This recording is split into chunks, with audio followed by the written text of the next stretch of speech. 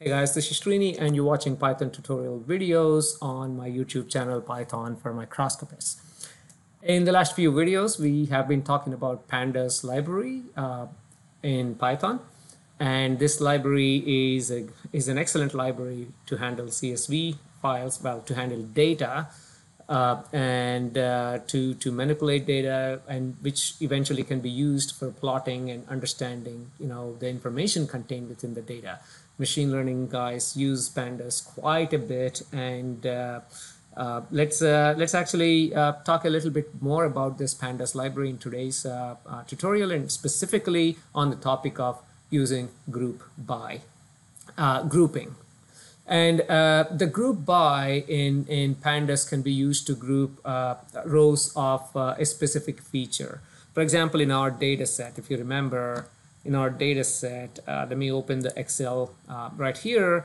Uh, we have a bunch of images as part of set one.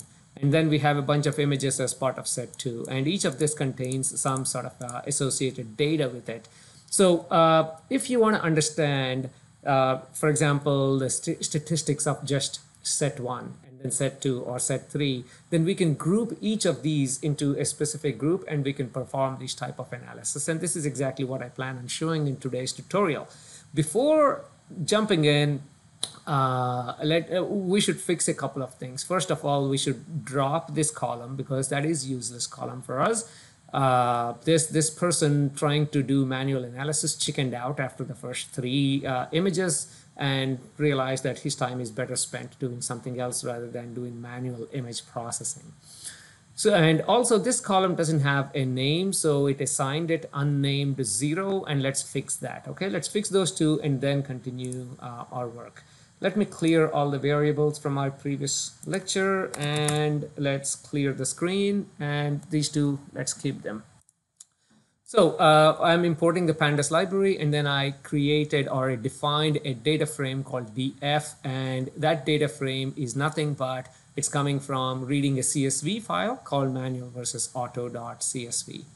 Now, uh, first of all, like I said, let's uh, rename, actually, uh, we already looked at the data, so let's rename df uh, equals to df dot rename. Okay, we can rename a specific column. I covered this in our previous tutorial, I believe. And which one do we want to rename? Let's uh, do this. I think it's called unnamed.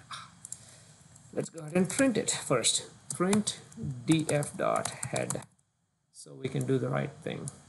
Okay. Unnamed zero. Okay.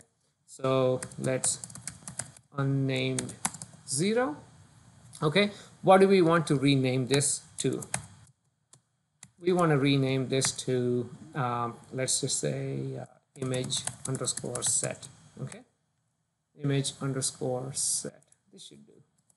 So if I run this, uh, let's actually print this one more time here.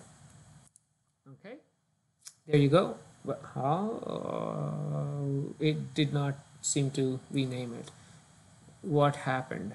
So unnamed zero columns, columns, uh, rename. Again, this is the time to make this uh, simple mistakes, I guess. Columns equal, oh, unnamed. There's no column called unnamed, unnamed, uh, whatever that spelling was.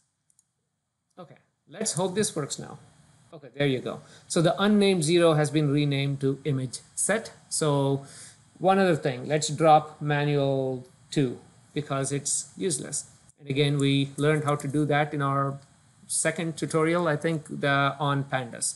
So this is df equals to df dot drop. By the way, I'm assigning this to df itself, which means I'm modifying df. Okay, you could have assigned it to a different data frame. Uh, so df dot uh, drop, and let's do drop the manual, and uh, axis equals to one because we're dropping a column okay again let's go ahead and print df dot head so we can see exactly. Okay so oh I don't want to drop manual I want to drop manual too sorry about it. So there you go. So my manual is back my manual 2 is gone okay? So I think we are set. Uh, we are okay to continue right now. Now uh, let's what uh, let's go ahead and jump in okay? Let's group by and the way you do that actually let's just uh, uh, create a new data frame. Group by file is equal to df dot group by okay? And by equals to what? Group by what? And this is where I give my column name uh, which we renamed as image underscore okay? Again let me make sure we got everything correct. Group by file okay? That's the new variable I defined equals to df our original or data frame. From here dot group by where my by is equal to image set. I believe this is this is good. And uh, let's just do um, I mean defining this now if I print it I won't see any different right there right? So let's do something with our group by uh, well, let's actually count within each group okay? So group by count okay? So I'm just counting the total number of entries from within each of these group. Group by uh, count equals to group by file right? So that's the new file that we created dot count. That's pretty much it. Now let's take exactly the same and let's also do um, average of each group okay? Is group by file dot mean okay? I think that should do. And let's actually print uh, group by uh, there's too many group bys so I'll just do set underscore data count. Let's do set underscore uh, data average okay? So group by file okay? Set data count. So if I print set data count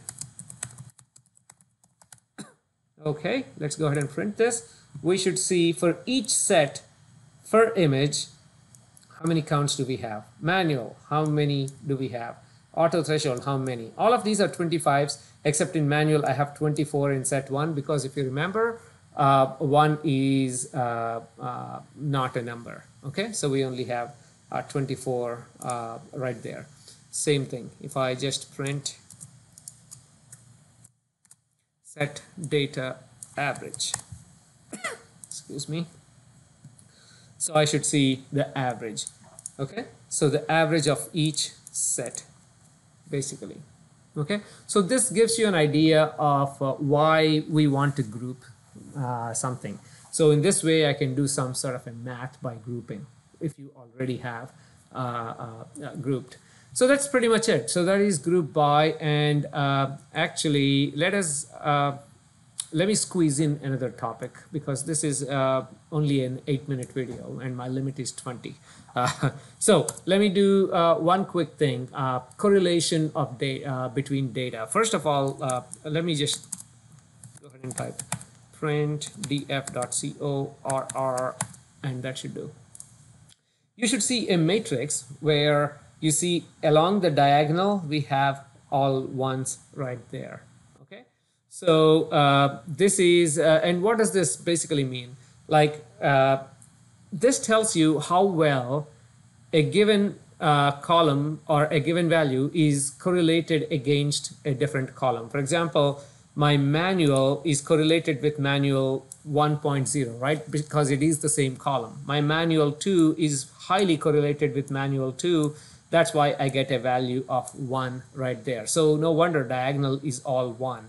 Now some are very close. My manual 2 is very closely correlated with manual right there because again looks like manual you tend to get the same type of uh, numbers there and also my auto threshold 2 here correlated very well with your manual too. Now a positive number indicates a positive correlation which means if one goes up the other goes up okay? A negative correlation is if one goes up then the other value goes down. That's a negative correlation. And no correlation you get some number uh, over there. So this is basically uh, uh, I mean this is the wrong data set to show this as an example but in scientific data analysis you always have at least one two even multiple correlations right so that's this is a great way of understanding the correlation between different data uh, different columns for example in your uh, in your data set now, uh, you can check correlation for specific columns. For example, instead of uh, uh, instead of uh, doing def dot correlation, let's actually do def manual. Okay, I want to look at the correlation between manual. This is nothing but I'm just extracting one value, not reporting the entire thing, uh, the entire matrix. So df manual, how is it correlated? Dot correlation of df and let's pick another one auto threshold 2 because that's what we tend to use there you go yeah that should hopefully print out uh, it printed a syntax error no wonder because I'm pretty good at making those syntax errors okay there you go so uh, here is the value 0.738 and blah blah blah it keeps going on so this is the correlation between my manual and auto threshold 2 yeah. So uh, in a, in a way, uh, there there should be no well. In fact, uh, if the image has more cells, then the manual should go up and the auto should go up, right? So there is some sort of a correlation, but again, this is the wrong data set to, to talk about this, uh, uh, the correlation. So uh, in this tutorial, we covered uh, the grouping, group by, and uh, you can see how when you group these you can do some sort of uh, again analysis on individual groups rather than doing on the entire thing and on the entire data data frame and we also looked at this correlation between multiple columns. And again I apologize for not having the right data set for this correlation topic. But again I just squeezed in this topic because we had some extra time extra time. Uh, let's, uh, uh, in the next tutorial, I'm going to talk about uh, dealing with null data, and I believe it will also be a very short tutorial. So uh, let's, uh, let's meet again in the next uh, tutorial. Until then, please do subscribe to my channel, and if you have something to say about this specific video, please leave your comments. Thank you very much, and uh, let's meet again.